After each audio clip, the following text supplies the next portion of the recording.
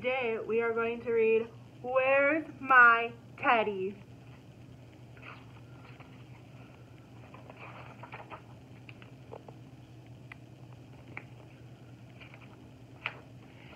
Eddie's off to find his teddy. Eddie's teddy's name is Freddie. Ooh, it looks like he's going into a forest. He lost him in the woods somewhere. It's dark and horrible in there. Oh no. Help, said Eddie. I'm scared already. I want my bed and I want my teddy. He tiptoed on and on until something made him stop quite still. Look out, he thought. There's something there. What's that?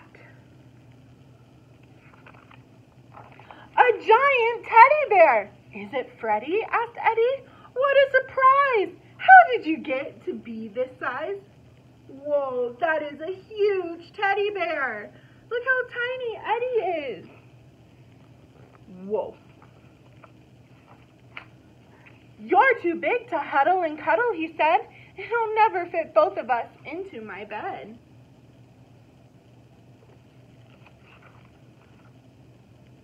Then out of the darkness, clearer and clearer, the sound of sobbing came nearer and nearer. Soon the whole woods could hear the voice bawl, How did you get to be tiny and small? You're too small to huddle and cuddle. Instead, and you'll only get lost in my giant-sized bed. No, wonder who that is. It was a gigantic bear and a tiny teddy stomping toward. Where do you guys think they're to go? The giant teddy and Eddie.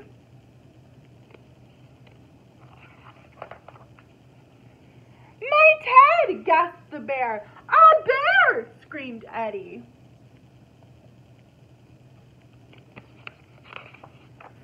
A boy! yelled the bear. My teddy! cried Eddie.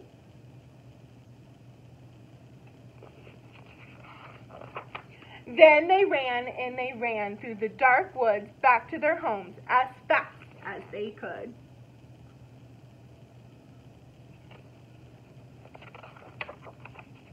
All the way back to their snuggly beds where they huddled and cuddled their own little Teds.